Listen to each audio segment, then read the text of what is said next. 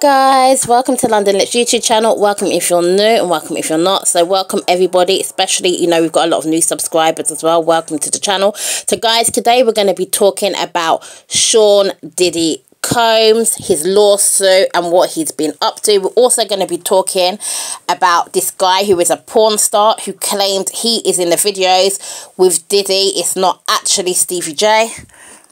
Diddy has been accused of unsolicited groping and sexual touching of Jones. Jones is a music producer. He was recruited by Diddy in 2022 to help him with the album, the Love album, Off the Grid. There is an album that was nominated for a Grammy after it was released in September 2023. So Jones agreed to help him, but it absolutely allegedly destroyed his life. He has been impacted ever since. What did Diddy allegedly do to him? Let's talk about this. Now, as you know, Diddy's been accused of sexually assaulting many, many people. He's also been accused of being homosexual. But Diddy, once again, is in the limelight for some sort of sexual harassment. Am I surprised? No, there's just going to be case after case when it comes to Diddy. Diddy is a slimy, untrustworthy guy. Oh, let's just say allegedly. So, let's talk about this. So, this guy endured more than one year of having constant unsolicited and unauthorized groping and touching of his anus at Diddy's home. He was touched in Diddy's homes allegedly in Florida, Los Angeles, New York. Diddy also allegedly rented a yacht in the US Virgin Islands. In this yacht, he introduced him to Cuba Gooding Jr. Everyone knows him from the movies, the actor. And to know Cuba Gooding Jr. is allegedly involved in this, it seems to be like a almost like know how you get paedophile rings this is some sort of like sex perversion ring which seems to in- have many many of the celebrities involved in it cuba was getting touchy feely on the yacht on this poor guy. He allegedly was touching him, groping him, and fondling Mr. Jones' leg and his upper inner thigh near his groin the small back near his buttocks and his shoulders. Now, anybody who has ever come across somebody who is a bit of a sex pest can probably relate to this. This is a typical, you know, sex pest type of move to be over touching, rubbing on someone's leg, or maybe they stand next to you, they put their hand on your back, their hand will be going too low, making you feel absolutely uncomfortable. But sometimes you feel like you can't say something when you're in these type of situations. He probably felt uncomfortable but didn't know what to say. Does this sort of behaviour surprise me? No. There's a lot of men out there who actually think they can just over touch people. So like you could sit next to the guy say he let's let's get let's get some scenarios going let's get some scenarios going okay so you get in a car you're on a driving lesson as the man touches, you know, the gear stick, his hand then rubs onto your thigh. You feel uncomfortable, but some people may not say nothing. A guy talks to you that you know, he puts his hand on your back. You're like, okay, cool.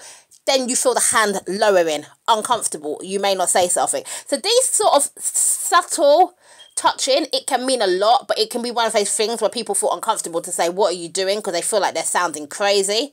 Now, I've seen the images of Cuba with his hand on this guy's leg and it looks very very very dodgy to me especially for a man to be going to another man I mean, a lot of guys don't even want to sit next to another guy on public transport if they can avoid it. So, for a guy to be touching up another guy's inner thigh is very, very suspicious. But Combs is the one who introduced Jones to Cuba Gooding Jr. And anybody you get introduced to by Diddy is suspicious. If Diddy's introducing them to you, you better be very, very cautious. There's very few people who allegedly seem to have been around Diddy who have actually not had some sort of involvement in Diddy's actions. He seems to be a recruiter as well as an extreme predator.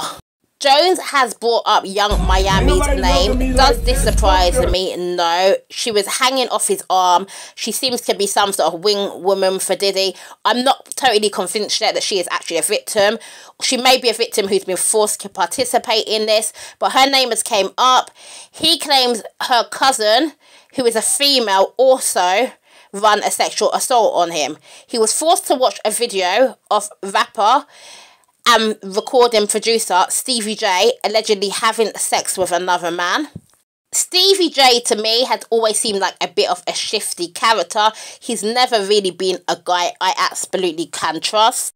I remember when Joseline accused Stevie J of sexually assaulting his daughter, not the child he has with her, but the one he has with Mimi. Now, I don't know whether that was true or not, but it seems like a very strange thing for a woman to be saying about you. Now, all the allegations I hear about Diddy are true. Diddy seems to be the type of guy that he wants everybody to see him naked. It seems like everybody in the industry has seen everything Diddy has to offer. Everybody sees this man naked. I've heard he had meetings naked in his bath. You know, he obviously gets some sort of thrill of people seeing his naked body, whether he's running an assault on them or not. So, Jones was allegedly required to watch Combs in the bathroom where he would shower naked behind a glass screen. Jones said that Diddy would boast of having shot people and would threaten to do bodily harm on him if he did not comply with his demands. Now, we all know Diddy's name has been called up when it comes to things like Tupac shooting, Biggie shooting. His name seems to always be coming up when it comes to shootings, and the police are not doing a very good job right now investigating him. His name is not being called up, in my opinion, for nothing. When allegations continuously come up about you, and we're not talking about his, even his sexual allegations right now, which there is many of, I'm talking about the fact that he is consistently, his name is consistently brought up in serious shooting cases. I don't see why investigations, extreme investigations, are not going on with Diddy. There are many allegations that he has some connections in the police force, but apparently some of his connections have retired and they have died over the years. So right now, why is the police not taking any action on Diddy? These accusations of him being involved in gun crime are extremely serious.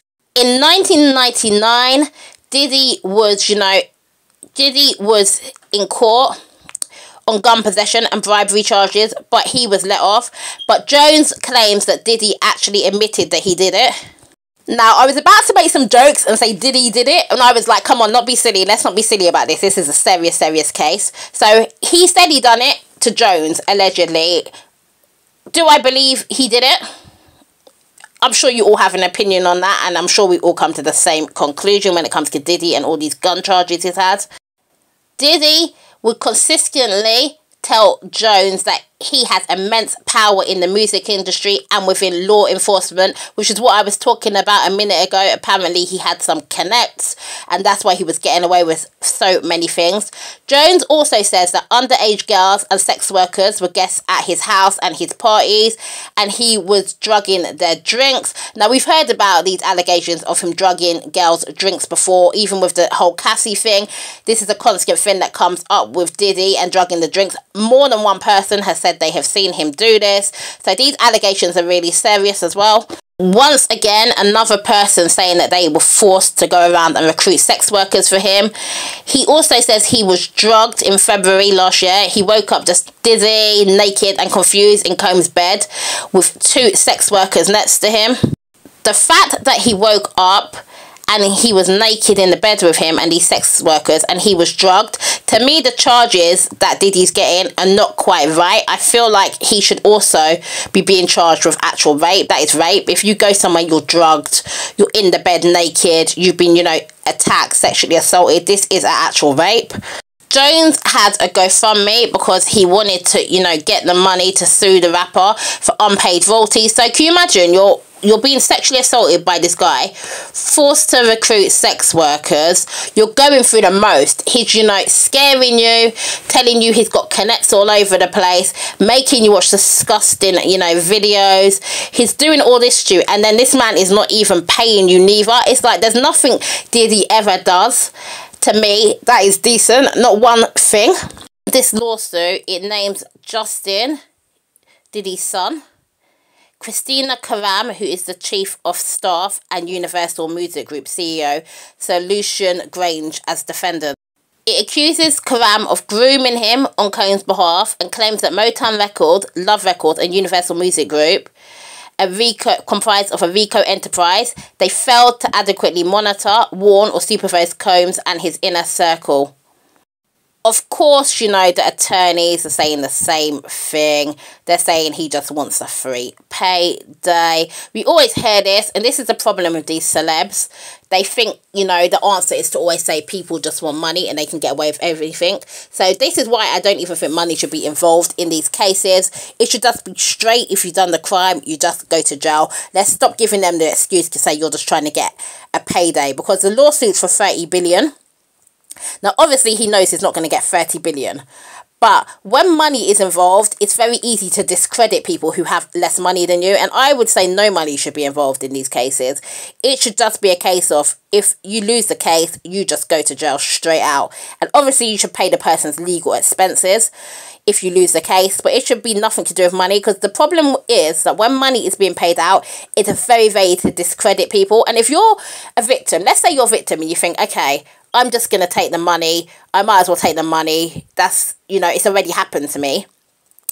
These criminals, let's just call them what they are, these sexual criminals continue to get victims because they're out on the road free. Prison should absolutely be the only option for them no way should you be rich. Just going around touching up vaping groping doing anything you want and thinking you can just throw your money at that. That throw their money at that and you can discredit people. You can make little deals. You can go to somebody who's got less money than you and offer to pay. No.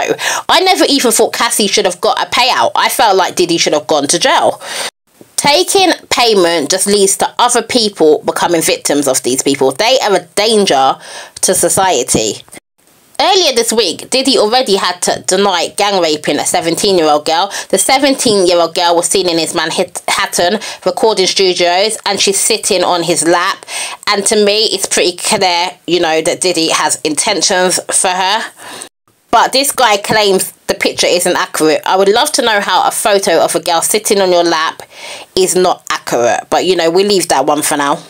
Actually, we won't leave that one. Let's get into it. So, this girl, she's only 17 years old. She is also filing in the New York court, the same court as Jones. So, Diddy's got another friend. And as I said, you know, bad people, bad company. If you're friends with Diddy, you've got to be questioned. So, his friend Harve Pierre and a man that we do not know his name, there's a third man who's involved in this. They flew this young girl, only 17 years old, allegedly, to a New York studio. They gave her large amounts of alcohol and drugs. This is in 2003. And this poor girl was allegedly gang raped. Okay, so let's talk about Stevie J being in these sex videos. An adult film star who is called D'Angelo Knockout Marquez.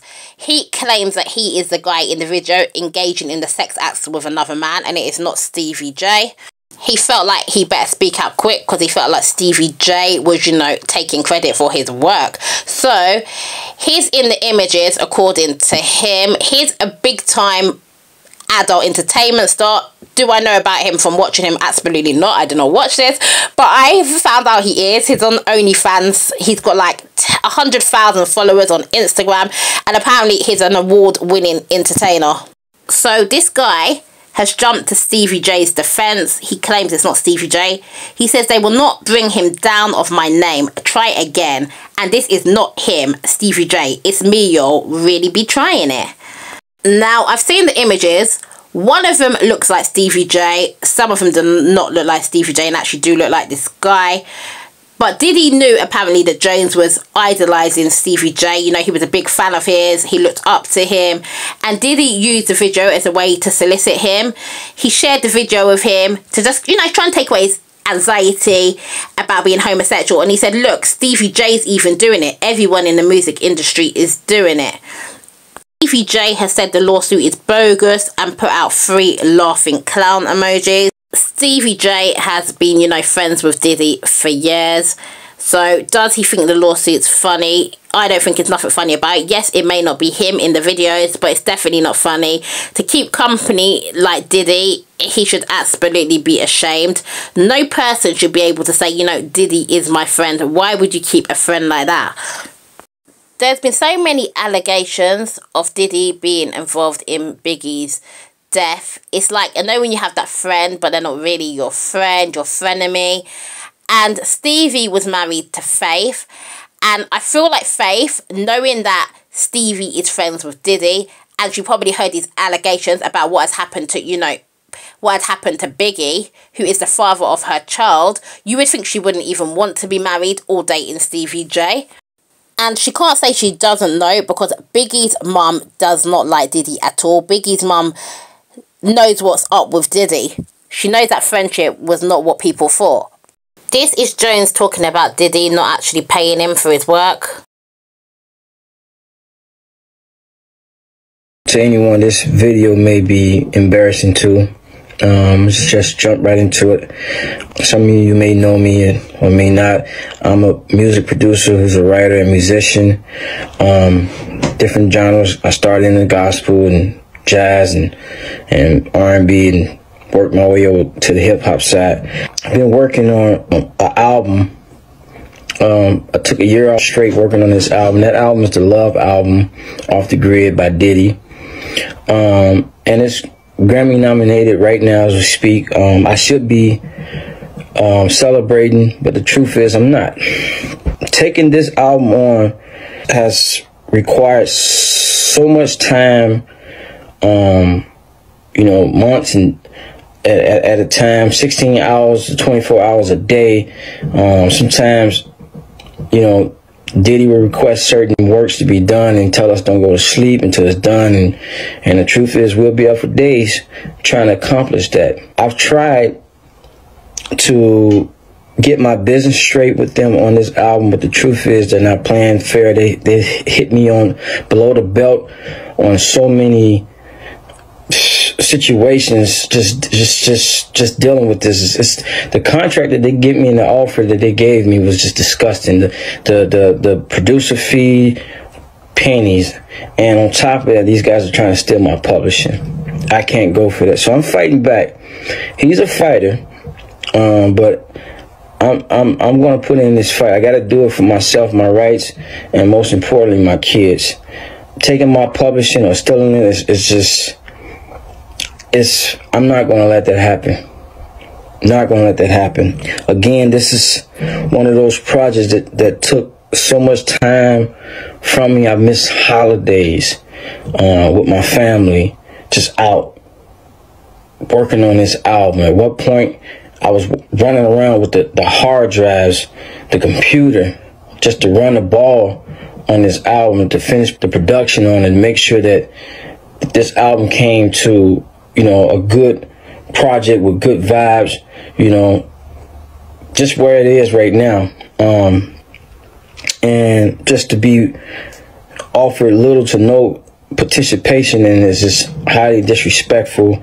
I won't be that guy 20, 30 years from now looking back saying, I wish I'd done this. I'm going to do this now. Um, doing this situation is not easy taking Puff to court, suing him is not easy. I don't have the the the monies that it's going to take to fight him in court. So I'm just asking, you know, if you if you in support, please. The link is in my bio.